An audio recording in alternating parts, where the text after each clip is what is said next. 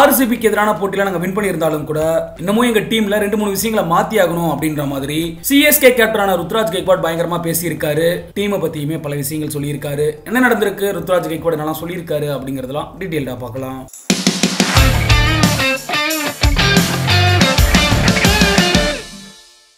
ஒரு வழியா எல்லாருமே எதிர்பார்த்த மாதிரி ஐபிஎல் பதினேழாவது சீசன் ஆனது பிரம்மாண்டமா தொடங்கி இருக்கு முதல் லீக் போட்டியிலேயே ருத்ராஜ் கைக்வாட் தலைமையிலான சிஎஸ்கே அணியும் ஃபாப் டுப்ளசி தலைமையிலான ராயல் சேலஞ்சர்ஸ் பெங்களூர் அணியும் மோதினாங்க.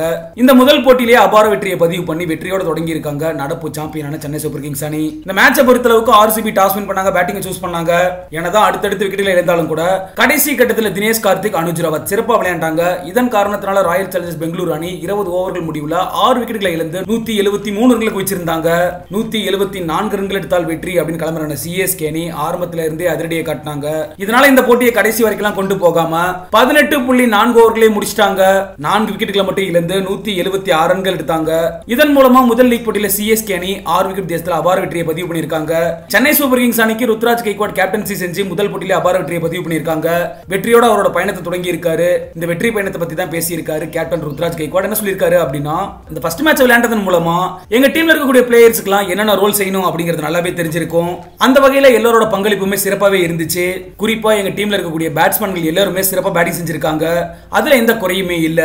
ஆனாலும் கூட இன்னமும் நாங்க ரெண்டு மூணு விஷயங்களை ஒர்க் அவுட் செஞ்சாகணும். குறிப்பா சேசிங் செய்யறோம் அப்படின்னா டாப் ஆர்டர் பேட்ஸ்மேன்ல இருக்கக்கூடிய மூணு பேர்ல யாராவது ஒருத்தராவது பதினஞ்சு ஓவர் வரைக்கும் நின்று விளையாடணும்.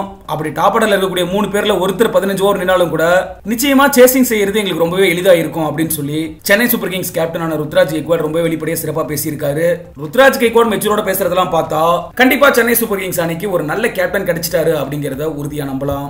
சரி ஓகே நீங்களும் மக்களோட கமெண்ட் பதிவு பண்ணுங்க. முதல் லீக் போட்டியில ஆர்ஜிபிக்கு எதிராக ருத்ராஜ் கெய்க்வாட் கேப்டன்சி எப்படி இருந்துச்சு அப்படின்ற உங்களோட கருத்துக்களை